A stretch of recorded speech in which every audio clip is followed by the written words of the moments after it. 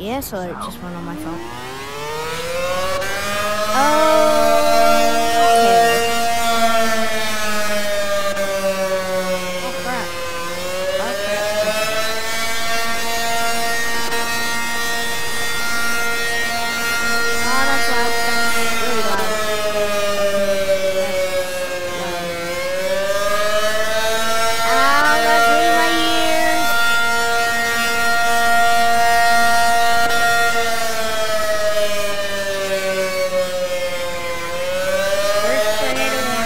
ages.